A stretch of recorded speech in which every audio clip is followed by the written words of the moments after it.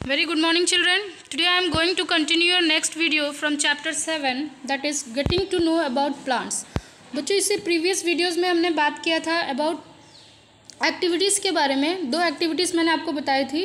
पहले एक्टिविटी तो मैंने आपको बताया था कि दैट लीव्स कंटेंट स्टार्च यानी लीव्स जो होते हैं वो food by the process of photosynthesis they make their food and then next second activity में मैंने आपको बताया था बच्चों कि जो सेकेंड एक्टिविटी के बारे में जिसमें हमने बात किया था, वो शो करता था कि that is sunlight is necessary for the process of photosynthesis and today we are going to talk about activities some activities that is activity to show the transpiration in plants what is transpiration बच्चों इससे previous video में मैंने आपको बताया था कि what is trans transpiration. का मतलब क्या होता है? Transpiration it means means the excess water water the plants यानी जो पौधे में से जो एक्सेस वाटर होता है, वो पत्तियों के द्वारा स्टोमेटा के थ्रू बाहर निकलता है, जिसे हम कहते हैं ट्रांसपिरेशन तो अब हम यहाँ देख लेते हैं कि ये एक्टिविटी से ये प्रूफ हो जाएगा कि that plants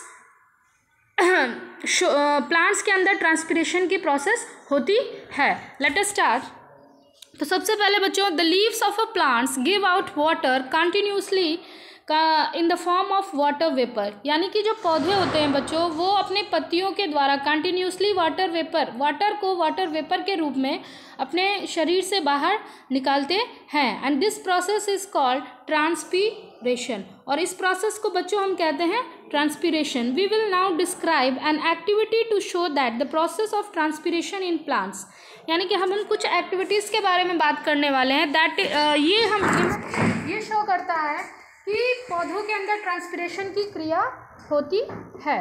Take a well watered potted plant having big leaves तो अब हम क्या करेंगे? एक हम पॉट लेंगे, जिसमें एक बहुत ही अच्छा पौधा होगा। उसकी जो पत्तियाँ होंगी, काफ़ी बड़ी होंगी okay enclose the leaf stem of a plant in a clean polythene bag अब हम क्या करेंगे? पौधे का जो ऊपरी सिरा है या फिर अगर ब्रांचेस उसमें निकले हुए हैं तो ऊपर का जो सिरा है, उसको हम एक पॉलीथीन बैग उसमें टाई कर देंगे। यानी एक पॉलीथीन बैग हम बाँध देंगे। जैसा कि बच्चों, आप यहाँ फिगर में देख रहे हो यू कैन सी ना, यहाँ पे ये पौधा है और इसके ऊपर हमने एक पॉलीथीन बैग प्लास्टिक का जो थैली होती है, उसे हमने बाँध दिया।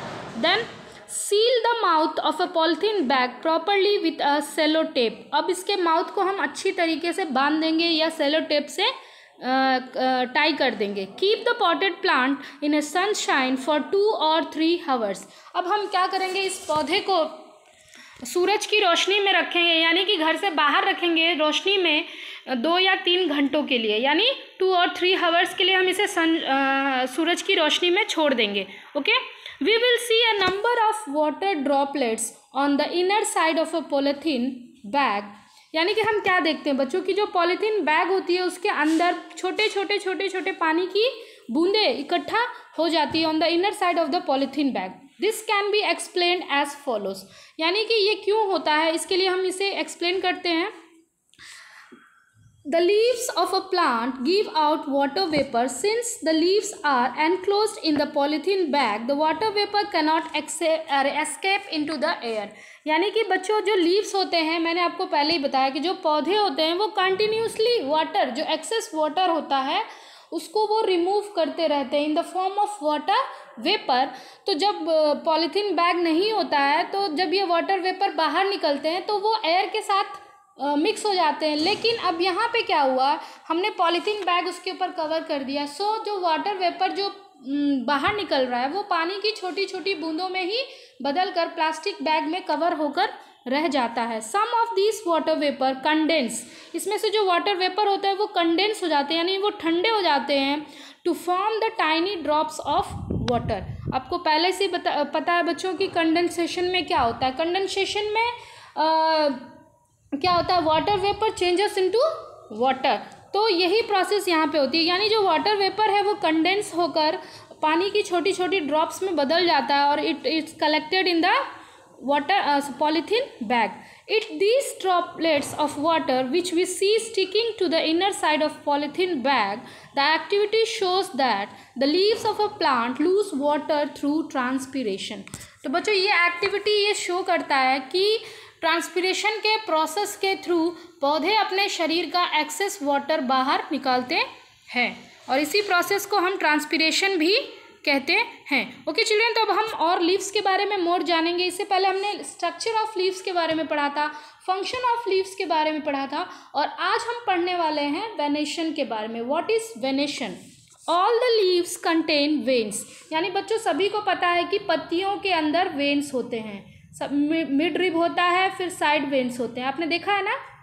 मैंने आपको फिगर में भी शो कराया है okay the arrangement of veins in the leaves of a various plant is different यानी कि पत्तियों के अंदर जो वेंस का जो अरेंजमेंट होता है, हर पत्तियों में अलग अलग होता है। कुछ पत्तियों में पैरेलल वेरेंशन होते हैं, यानी कि उसमें आप वेंस की जो लाइनिंग देखोगे, आप ऐसे पैरेलल में होगी, और कुछ जो होगी, ऐसे ब्रांचेस में होती है। आपने देखा होगा ना बच्चों?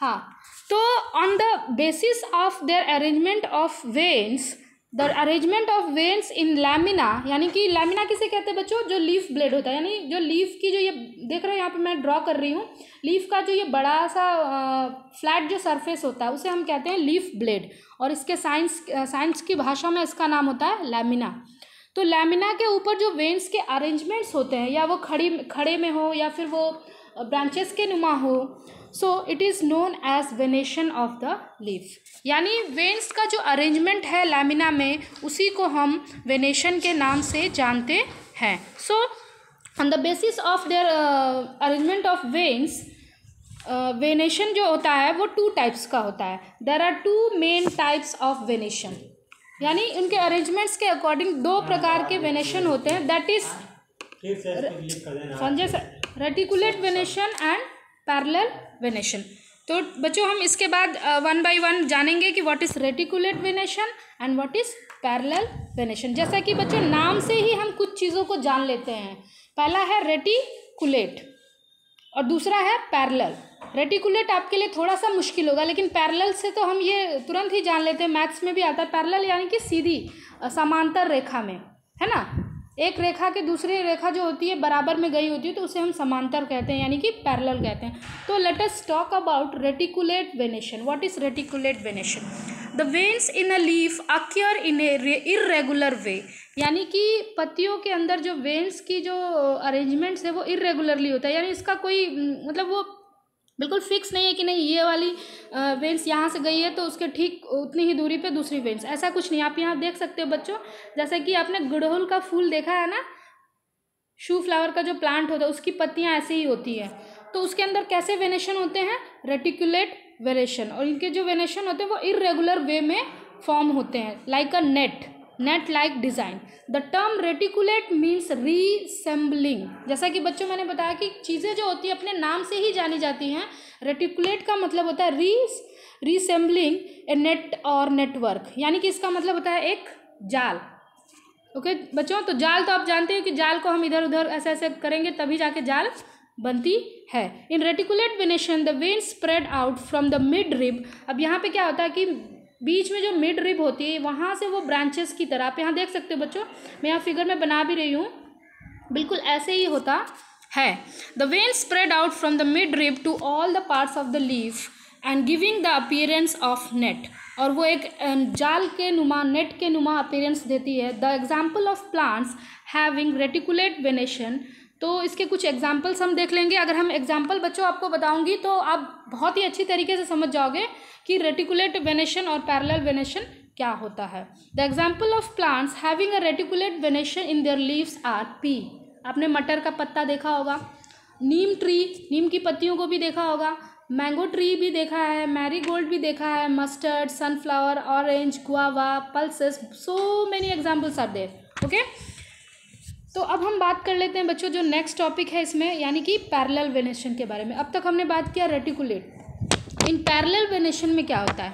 पैरेलल वेनेशन जैसा कि नाम से ही ज़ाहिर है कि इसमें जो वेनेशन की जो अरेंजमेंट्स होती हैं वो पैरेलल होती है। The veins in the leaf run parallel to one another यानी कि इसमें जो वेन्स जो होती है वेन्स की जो अरेंजमेंट होती है वो पैरेलल होती है। बिल्कुल ऐसे जैसे कि हम मैं स्क्रीन पे इसको ड्रॉ कर रही हूँ।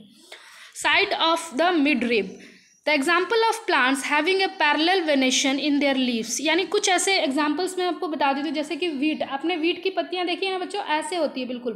बिल्कुल सीधी रेखा में होती है, उसके बीच में से ऐसे वेन्स गए होते हैं। तो इसे हम कहते हैं पैरल वेनेशन वीट हो गया पैडी हो गया राइस हो गया मैज मेज़ हो गया मिलेट हो गया sugar cane bamboo barley lily banana etcetera etcetera okay so children i think you have understood about what is reticulate venation and what is parallel venation so children i am going to show you next uh, activity activity for taking an impression of leaf यानी कि हम पत्तियों का impression ले सकते हैं अगर हम पत्तियों पे हमें वेनेशन अच्छे से दिखता नहीं है तो हम इसके इम्प्रेशन से हम ये जान सकते हैं कि उसके अंदर कैसा वेनेशन है रेटिकुलेट वेनेशन है कि पैरल वेनेशन है इसके लिए हम क्या करेंगे? We can take a impression of leaf on a paper which shows the veins this can be done as follow तो हम क्या करेंगे? ड्राई लीव्स लेंगे, पत्ती के पत्तियों को हम सुखा देंगे। जब वो पत्तियाँ सूख जाती हैं देन उस पेपर के शीट के अंडर उसको रख के और उसके ऊपर हम पेंसिल चला देंगे। तो उसके जितने भी स्ट्रक्चर हैं, वो पेपर पे उभर कर आ जाएँगे। यू कैन सी तो इस प्र... इस इस प्रकार बच्चों सॉरी चिल्ड्रन तो इस प्र... ये क्या हो गया?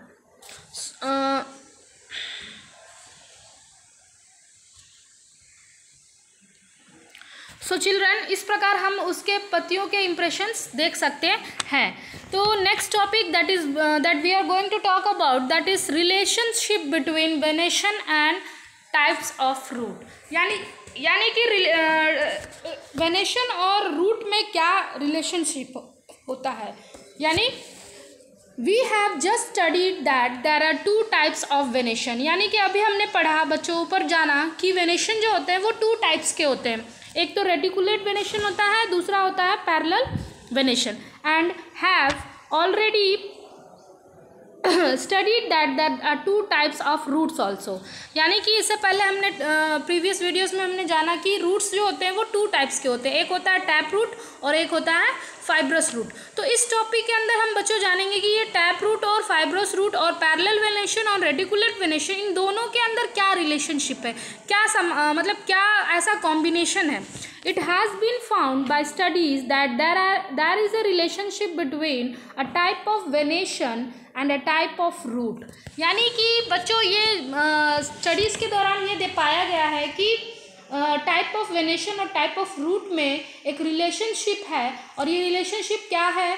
लेट अस सी तो सबसे पहला है the plant having leaves with reticulate तो याद रखोगे, ऐसे पौधे जिसमें रेटिकुलेट वेनेशन होते हैं, यानी कि जिसमें बहुत सारी नेट नेट की तरह जो वेनेशन का जो स्ट्रक्चर होता है, यानी नेट की तरह वेनेशंस के अरेंजमेंट्स होते हैं दे हैव टैप रूट यानी उसके अंदर टैप रूट होता है, यानी कि टैप रूट यानी कि जिसमें मेन रूट होता है और बहुत सारे ब्रांचेस निकले होते हैं। ठीक, बिल्कुल रेटिकुलेट की तरह इसका रूट भी होता है। अब हम बात कर लेते हैं the plant having leaves with a parallel venation they have fibrous root जो पैरेलल वेनेशन होते हैं, इसके गुच्छेदार रूट होते हैं, यानी कि फाइब्रस रूट याद रहते हैं। तो बच्चों, याद रखोगे रेटिकुलेट वेनेशन है तो टैप रूट होगा पैरेलल वेनेशन है तो fibrous root होगा this means that just by looking at the leaves of a plant we can tell the type of roots and these plants have without pulling it out of from the ground. यानी कि इसके कारण हम पौधे को ज़मीन से बिना निकाले ही हम ये जान सकते हैं कि पौधे में आ, कौन सा रूट है? मेन रूट है सॉरी टैप रूट है कि फाइब्रस रूट है? क्योंकि जिसमें टैप रूट होता है उसकी पत्तियाँ रेटिकुलेट होती हैं और पत्तियाँ तो बच्चों ज़मीन के ऊपर ही होती हैं और हम उसे आसानी से देख सकते हैं। Okay this is because if the plant leaves have reticulate venation then it will have taproot on the other hand if the plant leaves have parallel venation it will have fibrous root okay children the sunflower plants has अब यहाँ पे दो example भी दिए हुए हैं बच्चे Uh, क्योंकि एग्ज़ाम्पल से हम काफ़ी अधिक अच्छी तरीके से चीज़ों को समझ पाते हैं जैसे कि अगर हम सनफ्लावर का प्लांट ले लेते हैं तो इसकी पत्तियाँ आपने देखी होगी रेटिकुलेट वेनेशन के फॉर्म में होती है और इसके जो रूट होते हैं, वो टैप रूट होते हैं। और नेक्स्ट एग्ज़ाम्पल वीट वीट का प्लांट ले लेते हैं तो इसके जो वेनेशन होते हैं, वो पैरल होते हैं। और जब आप उस वीट के पौधे को उखाड़ोगे ज़मीन से तो आप देख सकते हो कि उसमें फाइबर्स रूट होते हैं। Okay children so children i am going to end this video. In the next video we will uh, talk about flower. यानी इस लेसन में हमने पौधों के हर पार्ट्स के बारे में बात किया और उनके फ़ंक्शंस के बारे में भी हमने बात की। और जो नेक्स्ट टॉपिक है that is flower and fruit तो बच्चों नेक्स्ट वीडियो में हम आपको बताएँगे कि फ्लावर्स जो होता है आ, उसका पौधे में क्या काम होता है और फ्लावर का मेन फ़ंक्शंस क्या होते हैं। उसके बाद हम फ्रूट्स के बारे में भी जानेंगे। और उसके बाद हमारा जो लेसन है वो ख़त्म हो जाएगा। Okay children thank